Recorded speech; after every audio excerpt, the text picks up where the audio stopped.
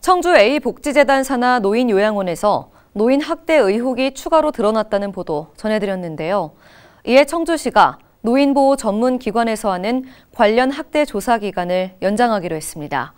노인들의 신체를 침대에 묶어놓는 행위가 특정인에 국한된 것인지 또 해당 시설에서 장기간 이런 일이 벌어졌는지 등을 광범위하게 살펴볼 예정입니다. 임가영 기자가 보도합니다.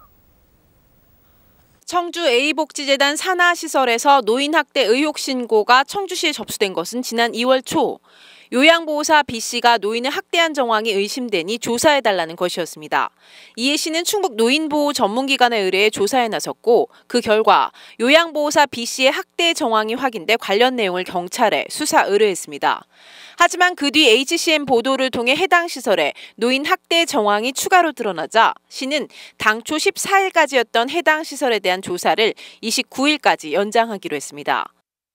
현재 그 노인보호 전문기관에서 노인 요양원 관련해 갖고는 그 저번에 이제 말씀하신 것도 있고 해서 학대 사항이다 CCTV라든가 서류라든가 이런 부분을 세밀하게 예, 조사를 하라고 해서 연장이 돼서 통보되어 있는 상태입니다.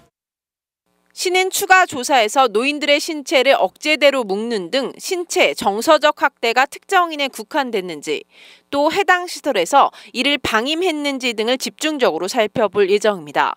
최초 해당 시설에 노인학대 신고를 접수한 시가 행위자에 대해서만 수사 의뢰를 하고 그 과정에 상급자의 지시나 암묵적인 동의가 있었는지 여부에 대해선 구체적인 조사 결과나 처분이 나오지 않고 있는 상황이어서 결과가 더욱 주목되고 있는 상황입니다.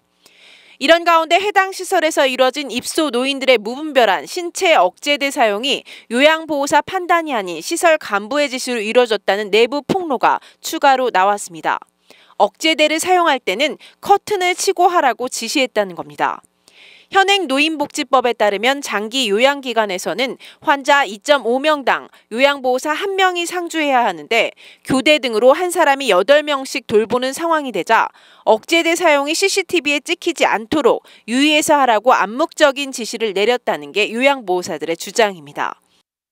어르신이 이제 너무 나대니까 막 이제 저기 할 수가 없으니까 이제 저희가 통제가 안 되니까 이제 가지고 가려고 그냥 가만히 잠시 다니던 사람이거든요, 그분이. 그 커튼을 치고 하라는 거. 그러니까 안 보이게 커튼을 치라는 거지.